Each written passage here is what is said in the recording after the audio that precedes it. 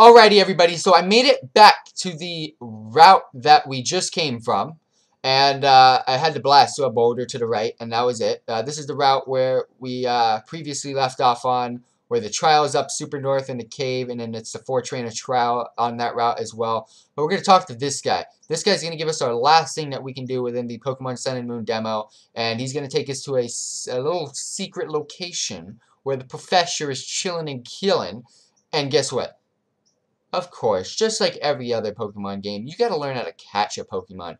So the professor, but what's good about this one, is this guy knows what he's doing. It's not like the Magikarp looking dude from Red and Blue, where he don't he don't he don't capture shiz.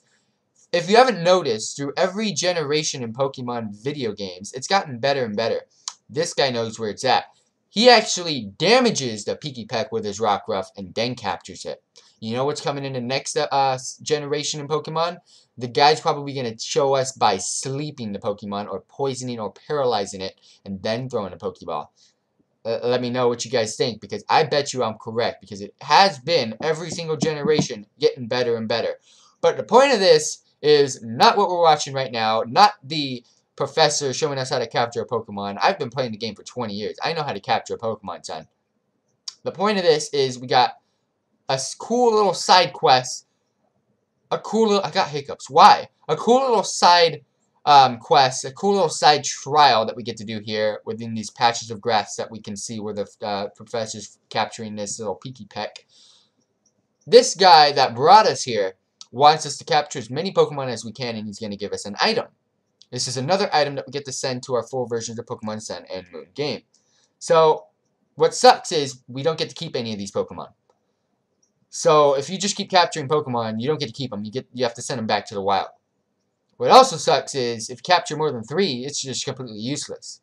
You have to capture at least three in order to get the uh, the item that this guy's going to give to you.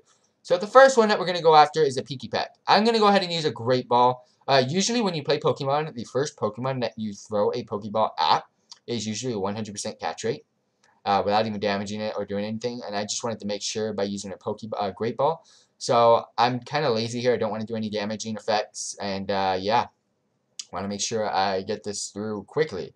So we got a Pikipek, and we're going to go ahead and travel through the grass to see if we can get two more Pokemon. We can get two more Pokemon, but I, I got to go get two more Pokemon. Uh, so that we did the top grass. Now we're to go ahead and do the bottom grass, see if there's anything different down here. But guess what? No, there isn't anything different. We got another goddamn Pikipek. I'm starting to get sick of these guys. Don't get me wrong, they cool, but I'm getting sick of them. So I'm to be lazy here and uh, just just throw a Pokeball without damaging it. Because that's, that's just how I do. Hopefully I am Gucci here. Hopefully captures it, it within the first try. Uh, we got one ball, we got two rolls, and we got three, and it is captured. So that is two out of the three that I want to capture. The reason why I'm not going over three is because, again, it's pointless, and you can get an item by only capturing three of these Pokemon, so might as well do that. So we're going to stay down here and try to get one more Pokemon, and let's go ahead and check it out what it is, guys. What do you guys think it is? Oh, what? It's a Pikipek. No way! Okay, so bear with me. I just found three Pikipeks. Well, I've done this demo a couple times. Again, like I said, you can find the other Pokemon here. You can find Rockruff and Yungoos here as well. So, you won't get this bad of a luck. And guess what? This third Pikipek gave me so much bad luck. I threw a Pokeball, and it didn't work on the first try. I did three shake and bakes, and just gave me the middle finger. I was like, really, bro? I don't want to damage you. Just, just, just come with me.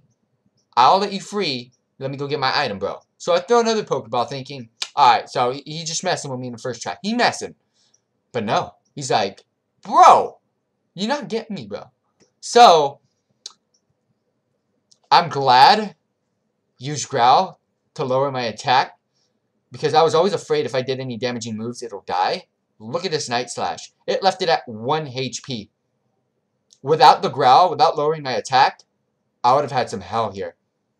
So, now that it's at 1 HP, we can go ahead and throw the, uh, the Pokeball, and it should be a 99.9% .9 catch rate guarantee on this little bee.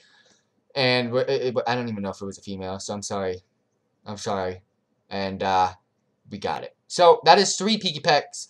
Uh, that is three Pokemon caught on this route. And that is three for the trial completed. So what am I going to call this trial? The the capture for no reason trial.